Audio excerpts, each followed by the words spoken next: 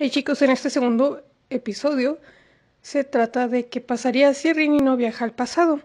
En Sailor Moon R, si Rini no viaja al pasado significa que fue capturada por el clan Black Moon.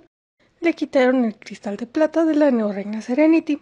El gran sabio es el caos disfrazado. Él destruiría al clan Black Moon, pues no le importan realmente.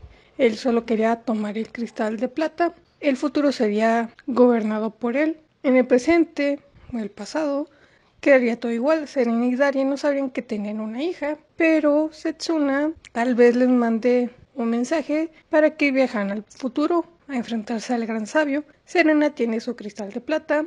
Aparte, tiene a la Ciner, que le pueden pasar su poder. Se enfrentaría con él, con el gran sabio, y ganaría. Aún así, no sabría que tiene una hija. Y así acabaría la temporada R. En la temporada S, Rini no viaja al pasado para entrenar, no conoce a Jotaru.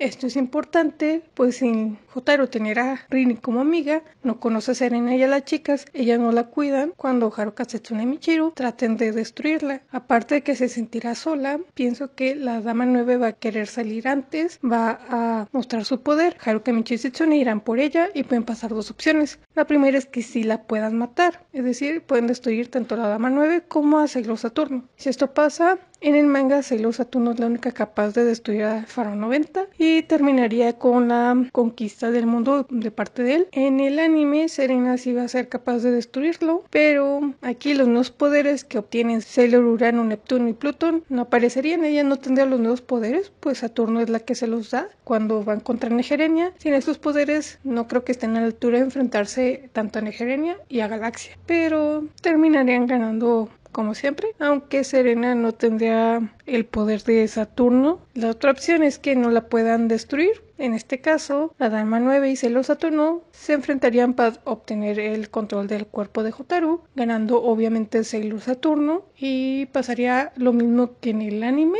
simplemente Jotaru no conocería a Rini, no tendría a su amiga, pero al final sí tendría a su familia en Sailor Moon Super S, Rini no es tan importante. El Pegaso puede aparecer en los sueños de Serena o de Darien y así enfrentarse al Cuarteto Amazonas, al Tío Amazonas, Circonia y a Negerenia. No es muy importante Rini en esta temporada. Y en Sailor Moon estar menos. Rini no es muy relevante en la serie. Si se quita no pasa nada.